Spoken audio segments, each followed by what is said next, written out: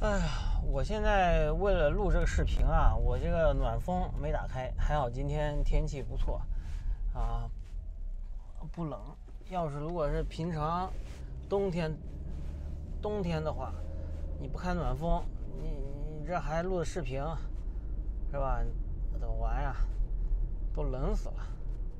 所以说我白天因为白天午餐嘛，也不太忙。周末的白天也不太忙，所以说边工作边录录视频，是吧？这也不耽误事儿，两全其美。到了晚上比较繁忙的时候，加上画质也不是太好，那个时候我就专心工作，是吧？就就完事儿了。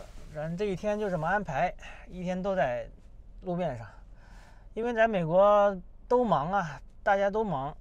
要么你休息，要么他休息，都攒攒不到一块儿，攒不到一块儿就没有时间，也没有人陪你玩儿啊。如果在中中国的话，是吧？你肯定是休息的，休息是一拨人呐，是吧？然后上班是一拨人呐，你就有你就有很多人可以叫出来玩儿。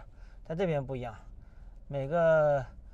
每个每个人休息的时间都都不确定，然后你你休息的时候他忙，他忙的时候你你你休息，所以就没办法在一块了。然后很多时很多时候，大部分时间呢都是都是自己自己休息，自己自己玩儿啊。这样的话其实是挺安静的。这样的话。是很不错的，但是在习惯于这个人多热闹的呃国人的眼中来看呢，这就感觉特别凄凉的感觉。其实没什么凄凉，一个人玩也挺好，是吧？你碰到了，那就在一块玩；没碰到呢，那你就一个人玩，自自在一点，是吧？啊，没有那种强拉着强拉的玩。以前我强拉过一回。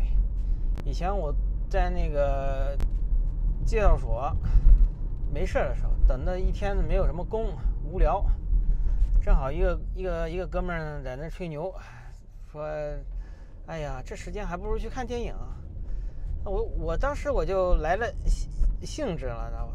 行啊，那去看看电影呗，我请你。然然后那这哥们儿刚开始以为是开玩笑啊，这这说说笑笑的。后来我当真了，我说我说我说我说兄弟，我确实没去过电影院，说你带我去一趟，然后这个我请你。后来实在是也只是也是等的没没有工作，知道吧？没有工作，然后也实在是无聊。那那哥们儿呢答应了，他答应了呢，我我知道大概三秒钟、三秒钟或者三分钟之后，他肯定就挺后悔的。他说：“我又不认识你，一个男的莫名其妙，我带你去看电影，哇操，就俩人，这不是很诡异吗？哎，就就就感觉就是一路走过去的路上有就有点那个不情不愿了，你知道吧？啊，反正我反正我是无所谓了，是吧？我也没有别的心思和目的，我就是你单纯的你请我去看看一个电影，我请你，是不是？那个时候是礼拜二还是礼拜几？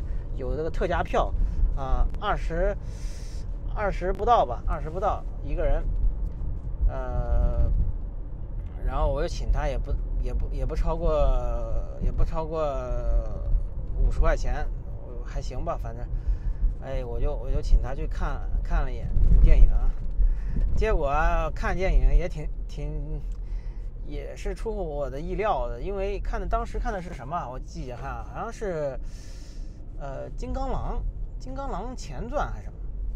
完了，去电影院我傻眼了。哎呀，没有字幕，全英文的。我的个天哪！我我俩还好是金刚狼动作片，还能看看一点热闹。如果是纯语言的电影，那我就肯定我得，那我就亏死了，是吧？听不懂，还不如到网上看一点带字幕的电影呢。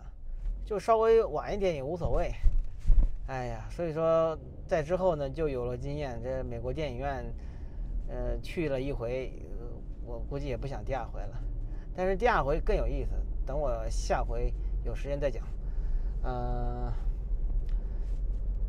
那个什么，反正在美国也就去过两回、三回，就两回吧。电影院，反正给我印象不是太好，还不如你弄一个好的显显示屏，呃，去去在家里面看，还还自在方便一点啊。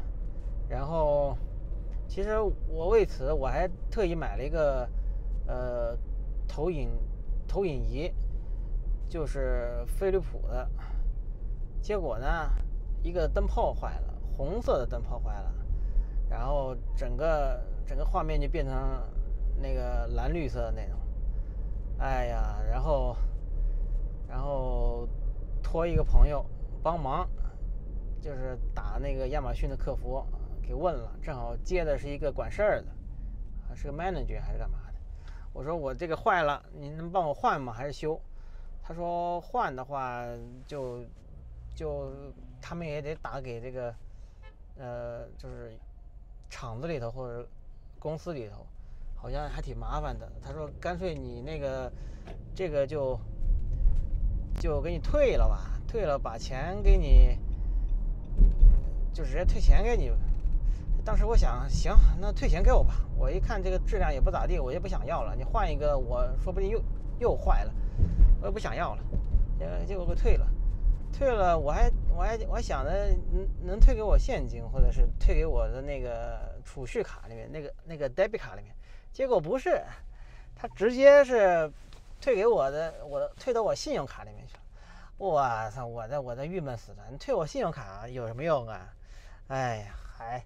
就等于说，我少还两百块钱，哎，少还两百块钱，多还两百块钱，哎呀，把我气气的，我就嗯再也不碰这个东西了。投影仪这东西确实，嗯，是一个老古董，过时了的东西，不值得买，千万别买啊！就像手表似的，哎，谁还买手表啊？哎，看时间，有手机不行吗？是不是？那个你要干嘛的？你要打电话，你有耳机不行吗？是不是？所以说我考虑一下，而且你看我买，我为什么买这个小米手手环五，就就这个道理啊，它不能接打电话啊，你接打电话你有手机就行了嘛，这个能监测你的心跳，但是不知道昨天为什么它监测压力的，监测压力，昨天一晚一一天没有监测到，不知道为什么。哎，我感觉这个还是还要进一步的升级啊，是吧？要加油啊！行了，不聊了，我我我去回去喝口水。